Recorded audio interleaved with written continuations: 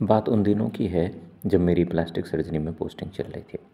तो वहाँ पर जो हमारे सर के साथ एक असिस्टेंट रहते थे, जो कि नॉन मेडिको थे, लेकिन साथ में रहते रहते काफ़ी ज्ञान हो जाता है तो उनके एक बार, उनका जो छोटा बेटा था, आठ साल, नौ साल, दस साल का रहा होगा तो उसकी जब तबीयत ख़राब हुई तो उन्होंने उसको सेफ्ट्राइजोन इंजेक्शन लगा दिया।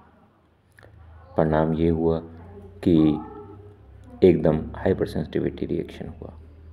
क्योंकि हम यूजली सेंसिटिविटी टेस्ट के बाद लगाना चाहिए, लेकिन ज्ञान की कमी के कारण उनको पता नहीं था, क्योंकि उन्होंने सिर्फ़ उनके साथ ऐसे ही रहे और थोड़ा सा ज्ञान पा लिया तो उसके बाद उन्होंने तो उसके कारण अब उनको ये भी नहीं पता था कि एवल का इंजेक्शन ये लगाना चाहिए, कुछ और कुछ करना चाहिए आपको, लेकिन बस उसके बाद उनके हाथ पैर फूल गए, फिर वो फटाक से लेकर उसको दूसरे डॉक्टर के पास गए, कहीं नियर बाई हॉस्पिटल में, क्योंकि वो एक गाँव के रहने वाले थे।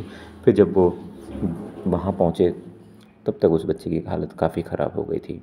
और वो बताते हैं कि वो बच्चा अभी भी थोड़ा सा मेंटली रिटार्डेड है, क्योंकि वहाँ पर उनको फिर ट्रीटमेंट दिया गया।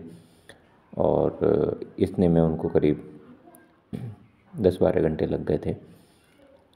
जैसे कि उन्होंने बताया तो इसलिए मैं आपको ये सिर्फ़ इसलिए बता रहा हूँ कि बहुत से लोगों की आदत है कि कुछ भी अपने आप से ही ट्रीटमेंट करना, जाके मेडिकल से कुछ भी अपने आप से दवाई ले लेना अनक्वालिफाइड लोगों से दवाई ले लेने पे कई बार अपने आप पर या अपने प्रियजन के साथ आपको बहुत तकलीफ़ हो से गुजरना पड़ता है और मुसीबत में फंस जाते हैं।